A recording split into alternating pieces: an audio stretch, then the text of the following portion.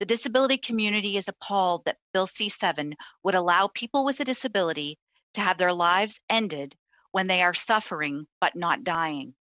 This is not how we respond to the suffering of any other group of Canadians, much less any other charter protected group. We're told Canadians want this, yet every national disability organization is opposed. If Canadians supported assisted suicide for being Indigenous a member of the LGBTQ2S citizens, for example, who are suffering as a result of being Indigenous or because of their gender identity, we would not be here today. Canadians recognize suicide is more prevalent amongst those who experience systemic racism or societal devaluation. Thus, prevention is a necessity and every life lost is a tragedy. Why is it not just as great a tragedy for an Indigenous person with a disability or someone with any other identity who has a disability? There are three points I'd like to cover. First, why us? As no other charter protected Canadian life is being put at risk by this bill, there is only one answer to this question.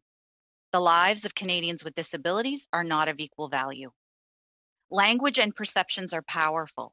Including disability as a condition warranting assisted suicide equates to declaring some lives as not worth living, a her- historically horrific premise with consequences that should terrify us all and clearly terrifies the disability community and their families.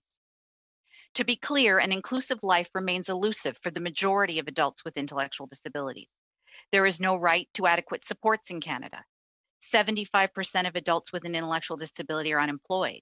They are four times more likely to be living in poverty, four times more likely to experience violence. And a staggering amount of people with an intellectual disability remain housed in institutions and long term care facilities.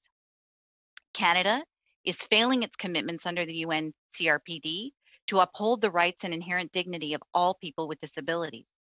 Persons with disabilities in Canada suffer an inadequate patchwork of supports with extensive wait lists for services. A state sanctioned death is not the solution. With having a disability itself under Bill C 7 as the justification for the termination of life, the very essence of the Charter of Rights and Freedoms would be shattered. Discrimination on the basis of disability would once again be entrenched in Canadian law. People with disabilities have been historically devalued and marginalized in Canada, and that remains to be sufficiently remedied.